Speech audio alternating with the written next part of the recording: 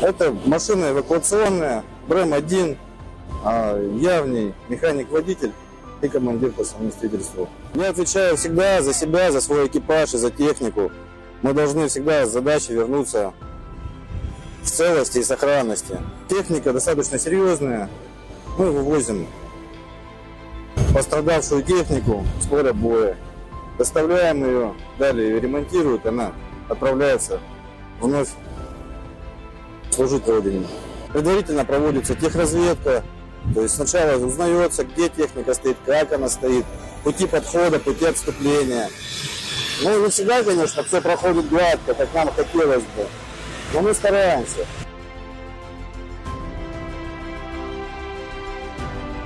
Сначала это была обыкновенная задача. Мы поехали, а должны были выдернуть технику.